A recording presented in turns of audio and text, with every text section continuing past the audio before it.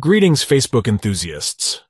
In today's video, we're going to unlock the treasure trove of memories by exploring how to view past hosted events from your Facebook account.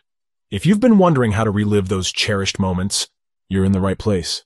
Get ready for a full guide on how to view past hosted events on Facebook. Let's jump right in. First things first, if you haven't already, let's download the Facebook app.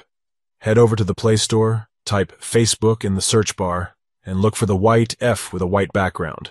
Tap on it, then hit the Install button. Once the installation is complete, open the app and sign into your account. Great job!